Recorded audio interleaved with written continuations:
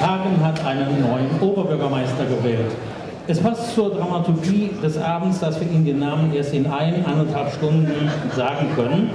Bis dahin sind Sie live bei der Auszählung der Stimmen dabei, hier im Ratssaal und mit 107.7 Radio Hagen. Ein ganz herzliches Willkommen auch den unterschiedlichen Fanblöcken hier, hier im Rathaus an der Polme. Ja, Hagens neuer Oberbürgermeister heißt, auf den Satz freuen wir uns schon. Äh, Wir wissen auch schon das Ergebnis, aber dürfen es wie gesagt noch nicht sagen. Wir werden Ihnen aber gleich zuerst sagen, wer die meisten Hagener überzeugen konnte. Ich kenne gar keinen von den beiden. Ich habe irgendwas gesehen, so ein komisches Fahrzeug stand hier. Ja, ich kenne ihn absolut überhaupt gar nicht, ja. Ich weiß, glaube ich, nur von dem Demnitz. Ist das richtig? Ja. Kandidiert er wieder? Das weiß ich jetzt im Moment nicht. Also er kandidiert nicht mehr, das können wir glaube ich sagen, aber er ist gleich unser Gesprächspartner und wir freuen uns auf einen spannenden Abend. Wir hoffen, Sie haben auch viel Spaß und viel Zeit mitgebracht und freuen sich auf das Ergebnis. Wolfgang Bratz, Und Robin Himmer. Hagen hat gewählt neben dem neuen Oberbürgermeister den Stadtrat und die fünf Bezirksvertretungen. Zunächst wird in den nächsten Minuten die, werden die Stimmen für den Oberbürgermeister ausgezählt. Wir rechnen etwa in 10, 15 Minuten auch mit den ersten Ergebnissen. Derweil ist der noch amtierende Oberbürgermeister Peter Demnitz hier eingetroffen und äh, wird diesen Abend vermutlich etwas entspannt verfolgen. herzlich willkommen. Herzlich willkommen. Ja, Wolfgang Bratz hat gerade gesagt, Sie werden das entspannt äh, verfolgen, entspannt, vielleicht aktiv erholt von einer Radtour am Wochenende. Ähm, ist das denn wirklich so ein entspanntes Gefühl oder ist auch Anspannung natürlich da, weil es ja eine wichtige Wahl ist in drei Fragen? Die Anspannung ist natürlich da, aber es ist eine andere Anspannung als vor fünf Jahren. Jetzt wird äh, in ein paar Wochen das Büro übergeben und ich meine das jetzt natürlich auch ein bisschen bildlich. Äh, übergeben Sie das aufgeräumt oder sind da noch viele große und kleine Aktenberge oder Stapel? Wie äh, meinen Sie, sind Sie da zu Ihrem Nachfolger? Also äh, ist es sehr aufgeräumt oder nicht so? Also ich habe mit Wilfried Hahn damals eine wirklich vernünftige Übergabe gemacht und das werde ich auch mit meinem Nachfolger so machen. Es wird aufgeräumt sein und er wird auch auf wesentliche Dinge hingewiesen werden und ich denke mal, das wird in wirklich in aller Form, egal wer es wird, in aller Form äh, geschehen. Herr Demnitz, täuscht der Eindruck oder waren Sie erleichtert, nachdem Sie im vergangenen Jahr für sich beschlossen hatten, nicht noch einmal anzutreten? Der Eindruck täuscht nicht. Es war schon ein erheblicher Druck, äh, aus vielen Faktoren bestehend. Und nachdem ich für mich die Entscheidung getroffen habe, war ich schon ein Stück erleichtert, habe aber auch gesagt, ich werde mein Amt bis zum Ende der Legislaturperiode auch mit Anstand und Effektivität zu Ende bringen. Konnten Sie sich 2004 vorstellen, dass Sie doch so wenig Spielraum in Ihren Entscheidungen letztlich äh, hatten? Die Verschuldung der Stadt wurde größer, zwischenzeitlich ein Jahr war ein äh, Spar, fast schon ein Sparkommissar äh, hier. Ist das ähm, eine Sache, die Sie doch ein bisschen überrascht hatte? Überrascht schon, das darf ich so sagen, denn äh, mein damaliger Kontrahent Christoph Gerbersmann äh, und ich äh, haben ja schon als Fraktionsvorsitzende versucht, in kooperativer Zusammenarbeit hier den Schulden der Stadt Hagen Herr zu werden. Nachdem ich gewählt worden bin und er dann auch in den Dienst der Stadt Hagen getreten ist, wollten wir das fortsetzen, sind dann aber durch verschiedene Ereignisse überrollt worden und nicht zuletzt auch durch das äh, Geschäft, was vor, vor meiner Amtszeit vorbereitet worden ist, was ja den schönen Namen CMS äh, Sweffletters führt.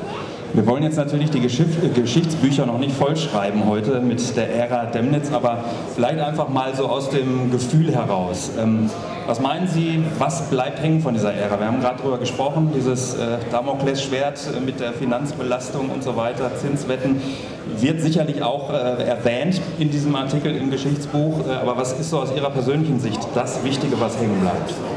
Das kann ich nicht beurteilen, das müssen andere beurteilen. Ich denke mal, das, was wir am Wochenende gemacht haben, hier das Museum eröffnen, das ist wirklich ein Highlight gewesen, ist aber auch schon vorher vorbereitet gewesen. In meiner Amtszeit ist es, oder zum Ende meiner Amtszeit ist die Eröffnung gefallen. Insofern ist mein Name damit verbunden, aber da will ich mich auch nicht mit fremden Federn schmücken. Das haben wir in einer wunderbaren Gemeinschaftsarbeit gemacht und ich hoffe, dass wir die Stadt Hagen hier auch ein ganz gutes Stück nach vorne gebracht haben. Wie ist der Eindruck von dem Wahlkampf? Sie nannten das Museum 2004, war das Museum, die Kindergärten, das waren die Themen 2004. Diesmal ist es eigentlich so ein bisschen dahin geplätschert, sodass man auch gar keine richtige Idee hat, wer könnte die Wahl heute gewinnen. Also ich darf das mal so sagen, jeder weiß, dass ich auch parteilich äh, gebunden bin und auch gebunden bleibe, aber äh, für mich war der äh, Wahlkampf in diesem Jahr zur Kommunalwahl etwas diffus.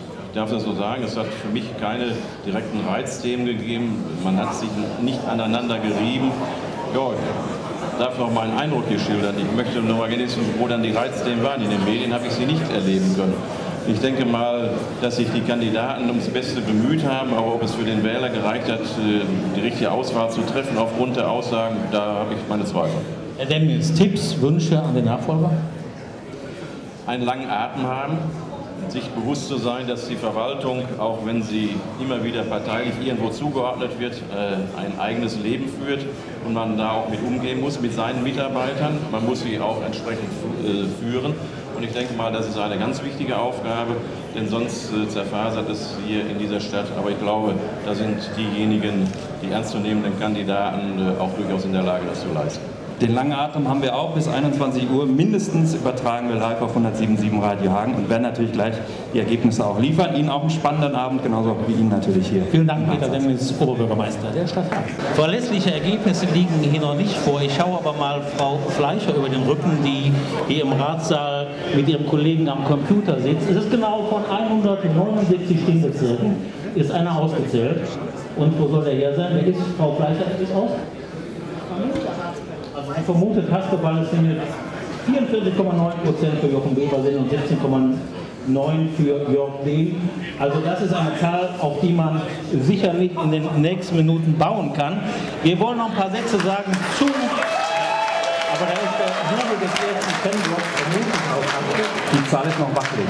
Die Zahl ist wackelig, kann sich natürlich stabilisieren.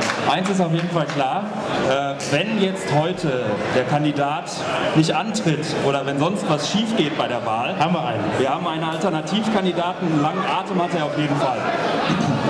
Meine Damen und Herren, liebe Leute, komm, ich mache es. Ich nehme die Wahl an, Freibier für alle und komm egal, ein Bremsklotz gibt es noch oben drauf. Ja, es wird wahrscheinlich so weit nicht kommen. Ich denke, es wird sich heute Abend jemand finden lassen. Hier bei uns bekommen Sie natürlich auch die nächsten Zahlen, die gleich auftauchen. Und Jörg Dehm, ah, jetzt liegt Seeber vorne 33,3. Zehn Stimmbezirke ausgezählt. Und das wird noch spannend. 107.7 Radio Hagen mit der Wahlsondersendung aus dem Rathaus. Zwei entscheidende Neuerungen gibt es bei dieser OB-Wahl. Es gibt keine Stichwahl mehr und wer die meisten Stimmen bekommt, äh, bekommt, hat gewonnen und der Oberbürgermeister wird für sechs Jahre gewählt. Man hat eigentlich mit einem Kopf-an-Kopf-Rennen gerechnet. In den letzten Wochen tauchte das Gerücht auf, es könnte auch ein Dritter dabei sein, nämlich äh, Jochen Riechel von den Grünen. Im Augenblick laufen sehr aktuell die Ergebnisse ein und von bei 30 von 179 Stimmbezirken gibt es zunächst mal ein sehr klares Kopf-an-Kopf-Rennen mit einem abgeschlagenen Jochen Riechel, 33,9 Prozent für Jörg Lehm und Jochen Weber 32,1 Prozent. Ähm, Robin Hirmer ist jetzt mal ins Publikum gegangen, sucht sich ein paar Jusos aus oder einige von der Jungen Union. Die flüchten gerade alle. Auffallend rot ist es hier in der Ecke. Insofern denke ich mal, ich bin hier richtig. Ihr seid, glaube ich, ihr könntet mit einem Oberbürgermeister Jochen Weber leben. Auf jeden Fall. Jetzt ist es im Moment so, dass es noch nicht so gut aussieht. Es sieht ganz gut aus, aber er liegt zumindest hinten. 31,5 zu 34,6. Wie ist die Stimmung? Also ist die äh, Hoffnung groß? Ist die Gewissheit eigentlich da, dass das noch gedreht wird? Wie sieht es aus? Die Hoffnung ist groß und ich bin mir sicher, dass Haspel noch nicht ganz ausgezählt ist. Okay, das werden wir gleich mal klären. Wie sieht das hier aus? Ähm, es braucht noch ein paar Stimmen. Ähm, was macht dich zuversichtlich, dass es noch gedreht wird? Nichts, das ist schlecht mit dem Jusos-T-Shirt. Einfach baff von der Stimmung hier. SPD-T-Shirt auch an. Äh, was ist so das größte, das Hauptargument für Jochen Döhler? Ja, ist ein toller Typ, nicht? Ein toller Typ. Ja gut. Wir äh, werden mal weiter Argumente sammeln für alle Kandidaten. Letztendlich werden wir uns so ein bisschen unter die Leute mischen und bin gespannt, was noch kommt. Ja, wir haben ja bei 107.7 Radio Hagen in den letzten Wochen und Monate viele Argumente gesammelt, natürlich auch viel bei Ihnen reingehört, was Sie so für Wünsche an den Oberbürgermeister haben, wenn es denn Wünsche an so einen Posten sozusagen gibt. Und wir wollen jetzt mal reinhören, eine nicht repräsentative Auswahl. Hagen sollte ein bisschen attraktiver sein für Externe. Es scheint so, als würden alle aus Hagen ausziehen. Einmal die Buslinien, dass man da auch mal nach 21 Uhr wegkommt, ein bisschen mehr Kontrolle abends auf den Straßen, mehr Polizeipräsenz vor allen Dingen. Die Sparkassenarena soll gebaut werden, die Basketballhalle. Das wäre mein Wunsch. Dass da mehr Geld investiert, also sprich jetzt für Hagen, dass sie jetzt mehr machen können, sprich jetzt neue Spielplätze machen. Das also sicherlich ein paar Themen, öffentlicher Personennahverkehr, die Basketballer wurden angesprochen. Wir wollen jetzt unseren äh, Juso-Freunden, die gerade noch etwas sprachlos waren, ganz kurz ein bisschen was zum Jubeln geben. Wir haben hier sechs Stimmbezirke, die in Haspa ausgezählt wurden, also wirklich nur sechs Haspa-Bezirke. Und große Überraschung, Jochen Weber liegt vorne, 41,3 Prozent, vor Jörg Lehm 28,8 Prozent. Ja, ich möchte mal die andere Ecke jubeln lassen, nämlich die, äh, den Hagener Norden. 14 von 37 Stimmbezirken ausgezählt. Dem 42, Weber 26,5. Aber das ist ein jedenfalls im Norden klarer Unterschied. Ich reiche nochmal nach, die noch nicht ersten Zahlen, aber 17 Stimmbezirke in äh, Hagen Mitte, fast gleich auf, 31 gegen 30 Prozent, 31 Prozent Jörg Dehm. 30 Jochen Weber, also es zeichnet sich tatsächlich ein Kopf-an-Kopf-Rennen ab. Schauen wir nochmal auf die Gesamtstatistik. 47 von 179 Stimmbezirken. Vorne liegt mittlerweile wieder 35,9 Prozent Jörg Dehm, vor Jochen Weber 30,3. So, ich würde Ihnen jetzt gerne auch mal erste Zahlen in Sachen äh, Ratszusammensetzung präsentieren. Allerdings mit Vorbehalt natürlich 16 Stimmbezirke von 179 ausgezählt. CDU 29,9 Prozent. SPD 34,8 Prozent, die Grünen 10,4 Prozent, FDP 6,5, Bürgerverhagen 2,6. Linke 4,4, Hagen aktiv 8,4, MPD 0,6. Wolfgang Bratz hat sich ins Publikum gemischt. Ja, Robin, du warst ja eher in der roten Ecke. Ich versuche mal hier, ich denke mal mehr die neutralen Beobachter hier sozusagen zu befragen. Sie schauen sich auch natürlich die Grafik an. Es sieht ja tatsächlich noch Kopf an Kopf rennen aus. Mit beiden Kandidaten können Sie leben. Also ich denke, es wäre für Hagen Glücksfall, wenn jemand von außen käme, der 30 Jahre Verwaltungserfahrung hat und der nicht in den Strukturen der Stadt Hagen äh, verhaftet ist. Ich äh, glaube, dass er größere Chancen hätte, hier insbesondere hinsichtlich der Finanzsituation etwas zu bewegen. Von außen käme natürlich auch ein Hassbau oder nicht so? Ich sehe das hier nicht als Vorbild. Ich finde im Moment werden wir aus meiner Sicht auch Vielleicht handelt es sich so, auch wenn ich Sie mal ansprechen darf, möglicherweise ein anderes Mehrheitsverhältnis sowohl bei VW als auch in Rat. Das könnte sein. Und das wäre gut oder einfach für die Stadt oder würden die Probleme doch noch etwas kompliziert Ja, ich glaube nicht, dass es einfacher werden würde, aber es könnte vielleicht kreativ werden. Ja, kreativ wird auch äh, dieser Abend wahrscheinlich noch, denn ganz so schnell wird die Auszählung der Stimmen für den Oberbürgermeister nicht beendet sein. Und äh, das wird sicher nach 19 Uhr irgendwann passieren. Bleibt definitiv spannend. Wir gucken natürlich gleich um 19 Uhr auch auf die Landtagswahlen und liefern Ihnen gleich auch weitere Zahlen hier aus dem Ratssaal. 107 Radio Hagen live aus dem Ratssaal und hier hat es gerade Applaus gegeben. Vielleicht gibt es jetzt auch noch mal Applaus. Denn auf der Bühne steht Jörg und nach allem, wie es aussieht, sieht es sehr gut aus. Neuer Oberbürgermeister, stärkste Fraktion im Rat, ist jetzt gerade noch ein Hin und Her, aber die Vorentscheidung dürfte gefallen sein. Ja, zunächst mal herzlichen Glückwunsch, äh, Jörg Dehm. Das scheint ein klareres Ergebnis äh, zu werden, als äh, wahrscheinlich auch Sie mitgerechnet haben. Das ist so. Zunächst herzlichen Dank. Ich freue mich sehr über dieses sehr deutliche Ergebnis, weil es, glaube ich, auch wichtig ist, um die Rückendeckung zu haben, die Arbeit in Hagen in den nächsten Jahren zu machen, keine lange Diskussion über Legitimation zu führen. Ich bedanke mich ganz, ganz herzlich bei allen Wählerinnen und Wählern, die mich unterstützt haben. Ich bedanke mich bei einer CDU, die unglaublich gekämpft hat, die mich unterstützt hat, ohne Wenn und Aber in den letzten Monaten. Und ich freue mich jetzt auf die Arbeit für Hagen und für eine gute Zukunft. Lassen Sie uns bitte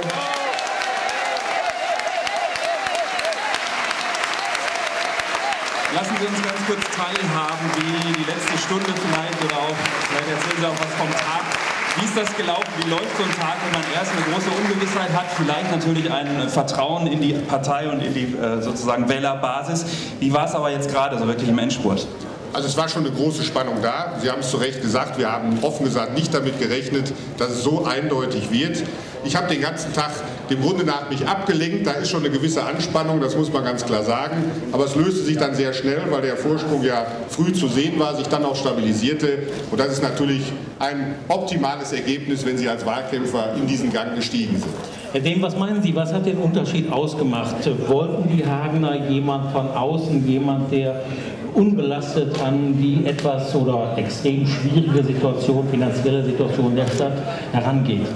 Ich glaube zunächst mal, dass die Hagener wirklich wollten, dass Kompetenz in der Tat das Thema ist für die Spitze der Verwaltung, dass angesichts der Krise der Stadt jemand tatsächlich auch führt, der dieses Geschäft beherrscht und gelernt hat. Alles andere werden wir sicherlich in den nächsten Stunden und Tagen noch analysieren. Die Menschen schreiben ja nicht auf den Wahlzettel drauf, warum sie uns wählen oder nicht wählen. Insofern freuen wir uns jetzt erstmal über dieses tolle Ergebnis.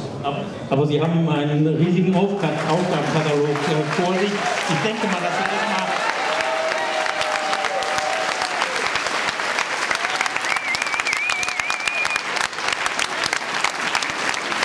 Ich denke, genießen Sie den Applaus. Ich denke, dass Sie erstmal diesen Abend und auch die nächsten Tage erstmal genießen wollen können, denn im November steigen Sie eigentlich, um das mal lax zu sagen, erst als Oberbürgermeister ein. Mit diesem Ergebnis übernimmt man aber in der Tat noch eine große Verantwortung. Von daher, wir werden uns freuen. Wir werden sicherlich heute Abend auch feiern. Aber wir werden dann auch sehr schnell an die Arbeit gehen. Wir haben einen großen Vorteil. Dieser Wahlkampf wurde unwahrscheinlich fair geführt. Ich möchte mich bei der Gelegenheit auch bei allen Mitbewerbern ganz, ganz herzlich bedanken für diese Fairness, für den persönlichen Umgang. Jochen Weber steht hier vorne. Es war menschlich völlig in Ordnung. Und deshalb können wir uns auch Jochen Weber, gratuliert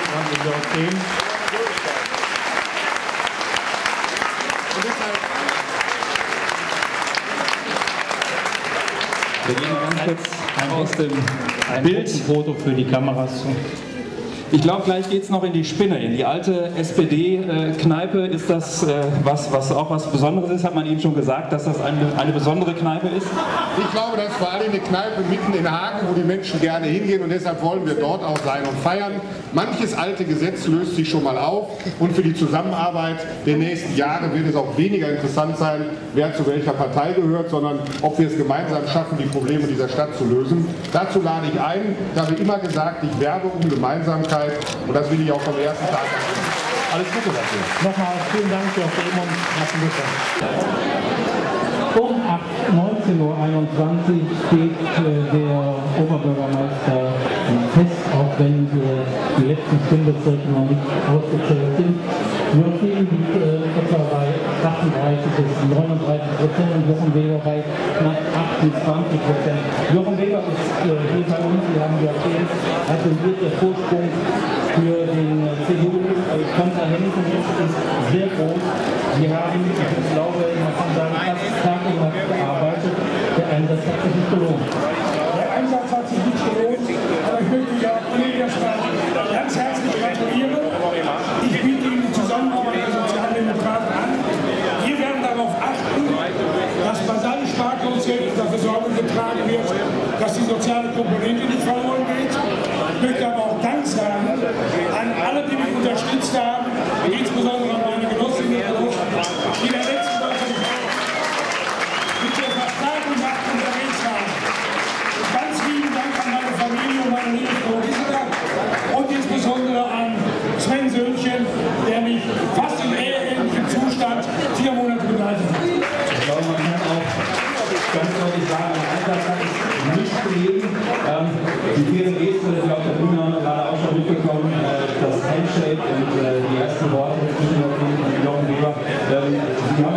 munkelt, es müsste eine Scheidung hier anstehen von Sven Löwenhill nach dieser Zeit.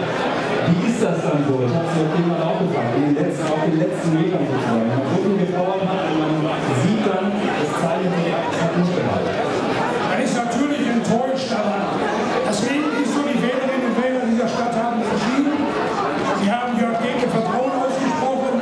Ich bin zweiter Sieger in dieser Frage. Und ich kann nur sagen, die Stadt besteht weiter und wir werden gemeinsam jetzt ein dickes Päckchen Arbeit vor der Brust haben. Und da werden wir gemeinsam daran arbeiten müssen, um es den, äh, den Schulabbau zu betreiben und die soziale Härte nicht einziehen zu lassen und soziale Kälte zu Herr Weber war es vielleicht so, dass die Herren unabhängig von den Kandidaten einfach mal niemand unbelastet von außen wieder die Stadt haben. Also ich weiß nicht, ob das Richtung Unbelastung geht. Natürlich war das auch ein Wahlkampfthema. Ich habe das nicht draußen festgestellt, dass diese Diskussion geführt worden ist. Die Diskussion war anders mit den Menschen, mit denen ich gesprochen habe. Aber die würden sich gefallen. Die Entscheidung ist nicht. Wer die kennt, weiß, sie werden nicht groß ruhen können, sie werden vielleicht ein paar Tage ausfahren und dann geht es erstmal wieder in Ja, selbstverständlich. Wir werden morgen erstmal das wegräumen, was wir in den letzten Wochen in die Straße gestellt haben. Wir werden die Autos mit den Würfen aufräumen und am Dienstag ist Bundestagswahl darauf angesagt, sodass René Rösper auf jeden Fall Ende dieses Monats ein vernünftiges Ergebnis bekommt. Ein fairer zweiter Sieger, Jochen Weger, an der ersten Liga auf der Bühne. Alles Gute für die weitere Arbeit. Und wir haben eine Saison. 107.7 Radio Hagen, live aus dem Ratssaal. Der Mann, der jetzt bei uns ist, der hat gesagt, nach 50 Jahren in der Politik kann mich eigentlich nichts mehr schocken. Der Bezirksvorsteher der Bezirksvertretung Alpetal, Ferdinand Böll, erstmal herzlich willkommen. Trotzdem als SPD-Mann, denke ich mal, ist dann doch ein bisschen Enttäuschung da. Also schon nicht Schock, aber dann doch Enttäuschung. Ja, sicherlich bin ich äh, über das Wahlergebnis etwas enttäuscht. Aber wenn, ich, wenn man äh, zurückblickt, ich bin jetzt 50 Jahre politisch aktiv tätig und habe in diesen 50 Jahren selbstverständlich nicht nur Siege erlebt. Und somit fällt es mir vom Alter her gesehen natürlich auch leicht, diese Niederlage in Anführungsstrichen zu verkraften. Wir haben hier das äh, vorläufige Endergebnis übrigens für Alpedal vorliegen. Danach äh, fallen auf Jörg Dehm 39,6 Prozent und 24,6 Prozent auf Jochen Weber. Das ist ähm, natürlich ein gewaltiger Unterschied. Ist da auch wahlkampftechnisch irgendwas falsch gelaufen? Also wahlkampftechnisch ist mit Sicherheit nichts falsch gelaufen. Äh, Ich kann mir nur vorstellen, dass die Bewohnerschaft im Stadtbezirk Alpedal auf äh, den Kandidaten Herrn Dehm einfach mehr abgefahren ist als auf, als auf unseren Kandidaten Jochen Weber. In den letzten Jahren sind die Menschen dort äh, auf Sie abgefahren als Bezirksvorsteher. Das kann man, glaube ich, zumindest zu einem großen Teil sagen. Jetzt ist damit Schluss. Sie hören auf, Sie kandidieren nicht mehr. Was ist das für ein Gefühl am Ende äh, einer solchen Amtszeit, wo man wirklich auch viele Kontakte gehabt hat? Also ich glaube, wenn Ferdi Böhm durch Eifel gegangen ist, dann äh, ist er da an jeder Ecke stehen geblieben, weil er angesprochen wurde. Ja, natürlich. ähm, Auf der einen Seite freue ich mich, dass jetzt äh, mit meinen nun kommenden 70 Jahren ein gewisser Feierabend in Anführungsstrichen eingeläutet wird. Auf der anderen Seite sehe ich es natürlich auch mit einem äh, tränenden Auge, dass ich an all den möglichen Aktivitäten nicht mehr so aktiv mitwirken kann, wie ich es dann in der Vergangenheit habe machen können. Herr Wölm, wir wollen noch ähm, ein Ergebnis, äh, noch kein Endergebnis, aber es ist nah dran, der Ratswahl noch gemeinsam kommentieren. Jörg Dehm ist mit großer Mehrheit gewählt, aber im Stadtrat sieht es so aus, dass die CDU-stärkste Fraktion mit etwa 33, die SPD mit rund 30 Prozent ist. Ist das jetzt vielleicht auch in der Stadt einfacher OB aus der, von der CDU, eine Mehrheit der CDU? Glauben Sie, dass das vielleicht die Stadt auch da nach vorne bringt? Das könnte äh, für Herrn Dehm, für unseren zukünftigen Oberbürgermeister sicherlich leichter werden. Aber äh, bei den Problemen, die diese Stadt hat, äh, bin ich nicht sicher, dass in jedem Falle die äh, Parteien denn äh, so extrem sich spalten in der Meinung, dass nicht irgendwelche konsensfähigen Ergebnisse zustande kommen können. Das wird Ferdi Born in den nächsten Wochen nochmal machen. Jetzt auch nochmal zum Bundestagswahlkampf seine Kraft zur Verfügung stellen, sein Wissen. Das wird ja wohl noch hoffentlich gefragt sein, besonders in Alpe im Süden. Selbstverständlich werde ich auch äh, beim kommenden Bundestagswahlkampf mitmachen und soweit es meine Gesundheit zulässt, auch bei allen anderen Wahlkämpfen, die noch auf uns zukommen werden. Und ich kann nur auch in diesem Zusammenhang sagen, äh, alle, die da nicht zur Wahl gegangen sind heute oder zukünftig nicht zu Wahlen gehen, haben aus meiner Sicht das Recht auf Kritik verloren. Einen unruhigen Feierabend wünsche ich und äh, dabei viel Spaß. Ferdinand Böhm, Dankeschön. Dankeschön. 10 vor 8, hier ist 107.7 Radio Hagen live aus dem Ratsaal und wir gucken mal auf die aktuellen Zahlen. 166 Stimmbezirke von 179 ausgezählt in Sachen Rat. Und dafür die CDU mit 33 Prozent, der SPD mit 29,7 Prozent. Auch in der anderen Frage sind dann auf dem Endspurt. In Sachen rein, da haben wir 174 von 179 Stimmbezirken. Und einer der Sieger Jörg Dehn, 39,1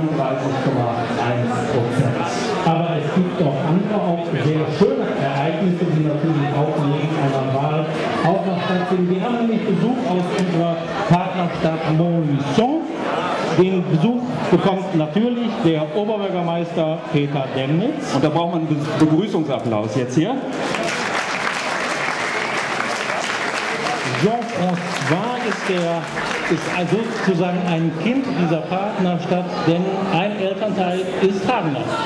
Ja, meine Mutter war von Hagen und mein Vater war von Montluçon. Ähm, äh, Herr Demnitz, ich habe gerade schon gehört, es gibt auch schon eine Botschaft, glaube ich, äh, des äh, Bürgermeisters aus Montluçon.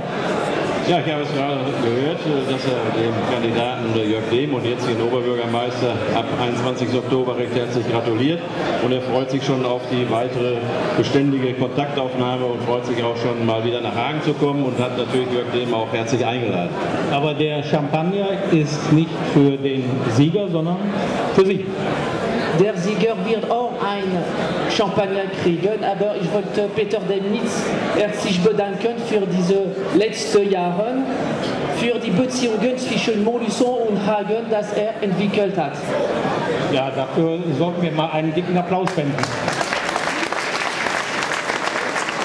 Ich wäre ja auch dafür, dass auch Moderatoren eine Flasche Champagner bekommen, aber gut, vielleicht müssen wir noch ein bisschen warten. Vielen Dank.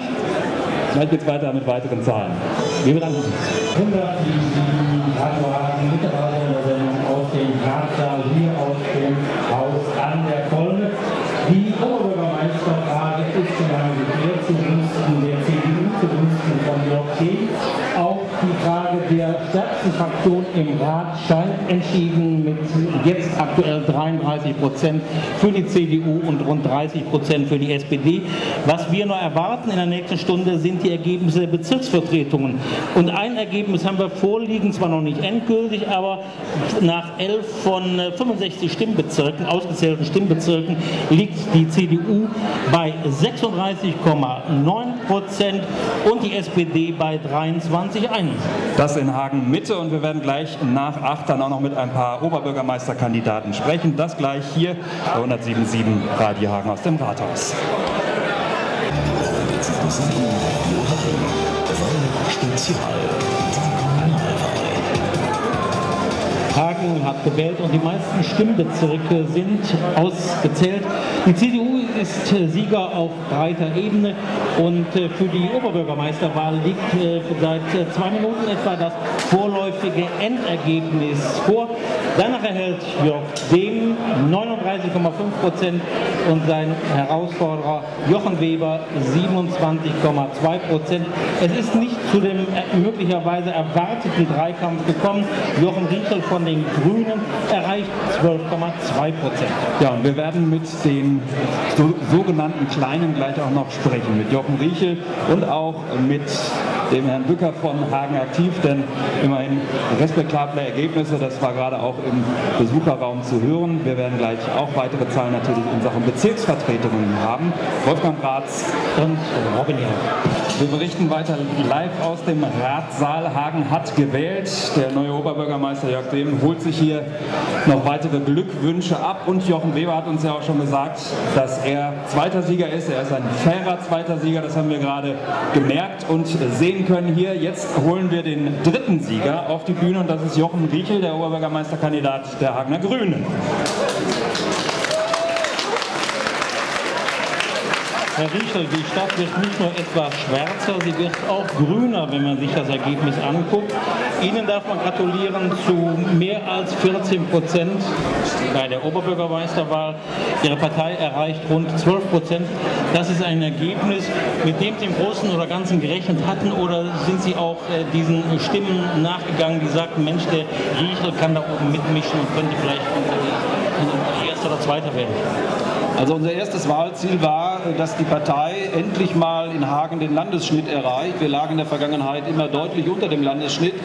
Das haben wir nicht nur erreicht, sondern deutlich übertroffen. Der Landesschnitt liegt, glaube ich, heute bei 10,5. Wir liegen bei etwa 12 Prozent und in den Bezirksvertretungen auch ein super Ergebnis erzielt.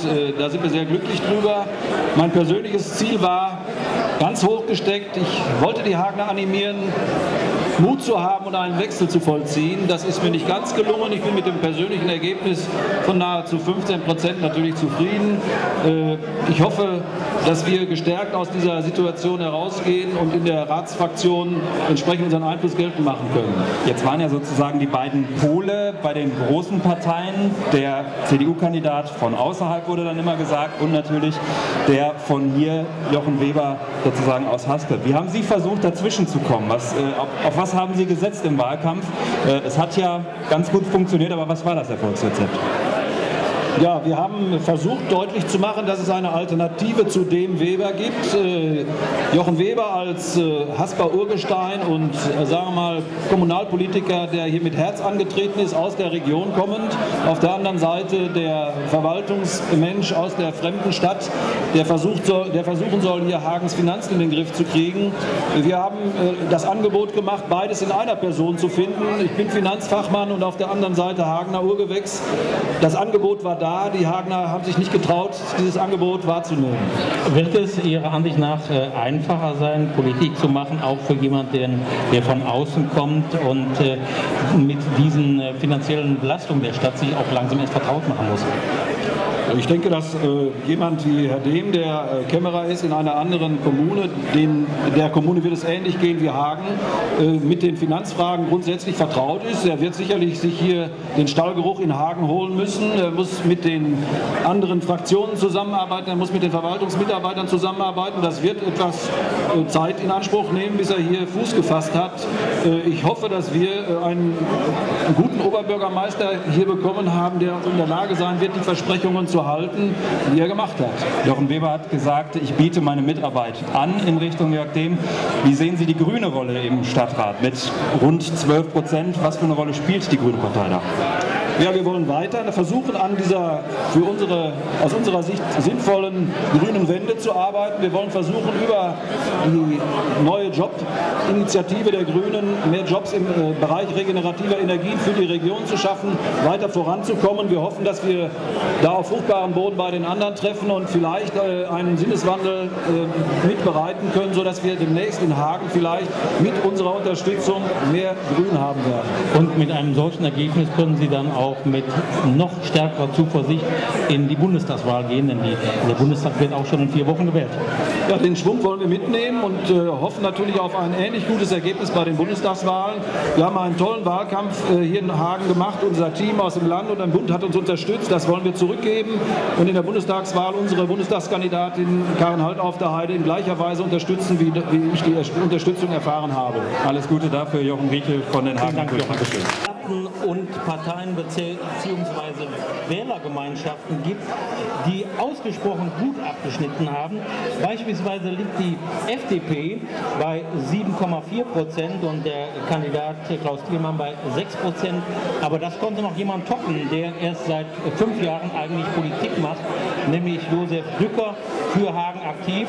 Sie haben ein sensationelles Ergebnis hingelegt, äh, aus meiner Sicht jedenfalls. Das dürfte bei knapp 8 Prozent liegen. Sie haben es beschrieben, Herr Bratz. Also ich kann es auch nicht anders ausdrücken. Wir sind sehr zufrieden bei Hagen aktiv mit 8%, mit rund 8%. Damit sind wir mit fünf Personen im Rat vertreten. Wir können uns aus unserer passiven Rolle, die wir im Rat immer einnehmen mussten, jetzt auch in die aktive Rolle gehen, die wir in unserem Namen führen. Ist das denn so, dass sich da etwas für Ihre Arbeit dann verändern wird? Bislang haben Sie, wir haben das jedenfalls so gesehen, äh, immer so geguckt, was sind die Themen, wo die Bürger auch äh, gerade sozusagen unter den Nägeln ein Problem mit haben, sind dann hingegangen, haben sich sozusagen daran geheftet. Ist das was, was sich verändern wird oder ist das genau das Rezept, was jetzt mit mehr Power sozusagen vorangetrieben wird? Zum einen, das wird auf alle Fälle auch so bleiben. Wir sind bemüht, das so aufrechtzuerhalten. Wir werden hinzubekommen natürlich die Verantwortung, die wir im Rat haben. Und da haben wir jetzt auch Gestaltungsmöglichkeiten äh, der Gestalt, dass wir mit einer Fraktion Initiativanträge in den Rat bringen können. Wir müssen nicht immer erst 10.000 Unterschriften sammeln. Wir können auch schon wesentlich früher und gut begründete Anträge so in den Rat einbringen. Äh, Sie konkurrieren im Grunde ja mit Bürger für Hagen, vielleicht ähm, mit den Linken und anderen Gruppierungen, aber dass Sie stärker als die FDP in der Stadt der Liberalen hier in Hagen abschneiden, das war nicht abzusehen. Insofern vermute ich mal, dass äh, die fünf, also die vielleicht mehr als drei sind, nachher äh, überrascht sind, dass sie plötzlich im Rat sitzen. Dass die FDP überrascht ist, dass äh, Hagen aktiv im Rat sitzt, das, das mag ich nicht zu beurteilen. Ich denke aber, dass die FDP auch so weit vorgedacht hat, dass das durchaus möglich ist. Freie Wählergemeinschaften sind im Trend, das sieht man landesweit, das sieht man bundesweit.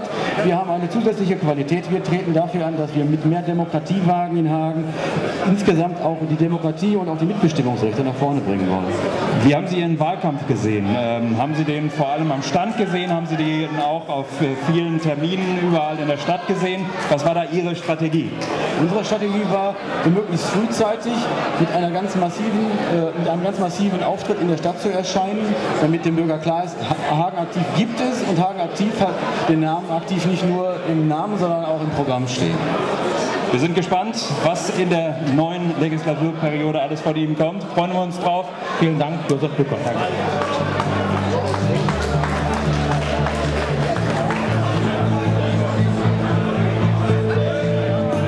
kurz vor halb neun, 107,7 Radio Hagen hier. Wir haben das vorläufige Endergebnis in Sachen Bezirksvertretung Alpe-Dahl. SPD 29,8 Prozent, CDU 30,2 Prozent. Es könnte durchaus sein, äh, dass nach, äh, am Ende der Auszählung nur noch Haspel einen SPD-Bezirksbürgermeister hat. Wir wollen natürlich auch jetzt aktuell wissen, wie es in anderen Städten des Landes ausgegangen ist und besonders, wie es in den Landtagen im Saarland, in Sachsen und in Thüringen gelaufen ist.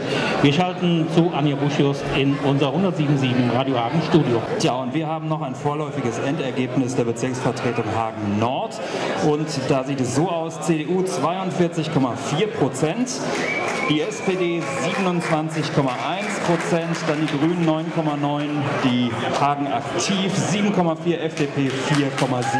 Also gewählt ist natürlich Dieter Kocher.